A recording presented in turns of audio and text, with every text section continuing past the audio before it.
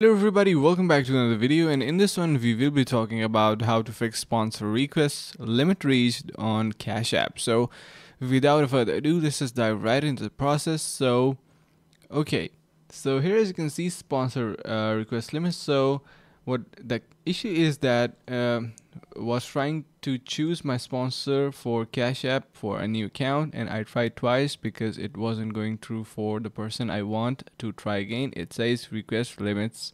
How long do I have to wait for it to be able to let me choose again?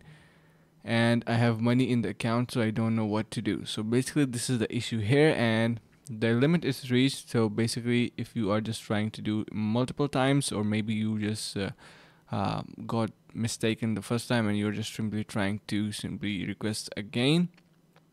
And it is going to be popping up an error which says that limit reached on cash app. So how to actually fix it? So basically we have a couple of answers in here. So uh, first of all if you are uh, uh, just simply using the first time make sure that never use the sponsor except a parent or legal guardian never put assets into a new account until the identity verification or sponsorship is all successfully completed. The sponsor is legal owner. They control the account, including closing it and getting the asset out. So yeah.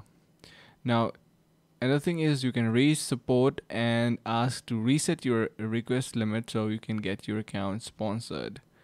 And even if that is not working, you can simply uh, write them to Cash App help and uh, customer support and they might be able to help you. They typically uh, reply within a day or so.